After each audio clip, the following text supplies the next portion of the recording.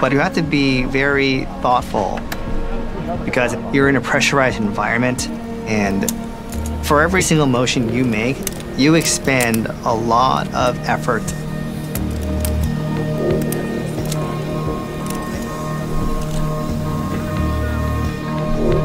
Today, I'm in the Neutral Buoyancy Lab. The Neutral Buoyancy Lab is the largest swimming pool in North America. It contains a full-size replica of the space station. And this is where all astronauts start to train for spacewalks.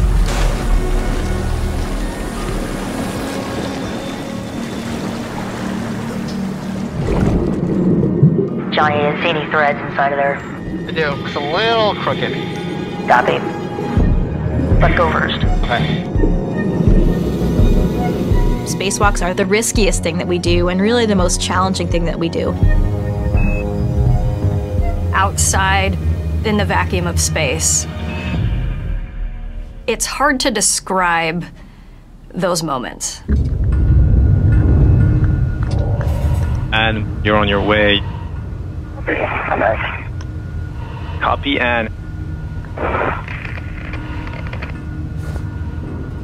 I come out and I'm holding onto a railing. And it was, what am I doing? this is crazy. My mom would be telling me to get down off of there. You never forget that first moment. I looked down and I saw my feet dangling there, and then there's nothing but blackness between your feet and the earth spinning below. I liken it to if you've ever been on the top of a cliff or at the top of a high building. Then you come just over the tip where you're looking down maybe a thousand feet, and then perform brain surgery. Got some problems here. Gonna need some help to get this bag down.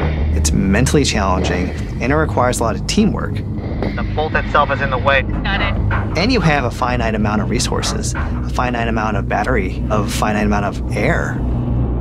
Space is challenging, period. And we have had humans safely in low Earth orbit for over 21 years on the International Space Station. But now we want to go beyond that.